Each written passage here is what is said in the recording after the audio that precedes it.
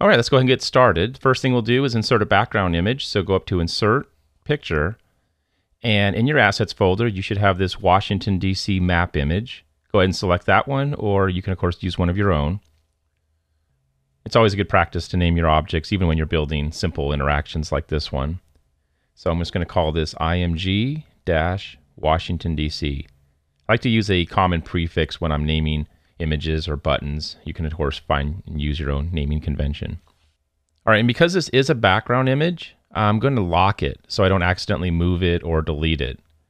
All right, so we have our image on the slide. I'm going to go ahead and close the timeline for now. Now we can go ahead and add a marker. So to add a marker, just go up to the Insert tab again, and this time select Marker. Now you can see that you have a lot of pre-built markers with icons. We're just going to use the blank one for this project. So I'm going to go ahead and click it and then just click on the slide to add the marker. Now you notice that when I place the marker on the slide, the marker is made up of two parts, right? There's the actual marker, right, the button, and then there's the label. Now the label also has a couple parts. It has a, a, a title, which you can change, and then it has the, the body part where you can add text, pictures, or video. In this case, for this marker, we're just going to add some text. So let's go ahead and fill out our marker. And you have some placeholder text already created for you in the assets folder. So you can just use and copy that and paste it in the label. All right, so we have some text in here. Now in this case, I want to adjust the marker a little bit. So I'm going to play around with the layout. First thing I want to do is make the text a little larger. So I'm going to select it. And you'll notice that it opens up the text editor. So we'll just make this around 11 points. All right, that looks good. I'm going to go ahead and select the title now, and I may actually make this larger as well. So you can see that all the text editing options are available, and I'll go ahead and center this.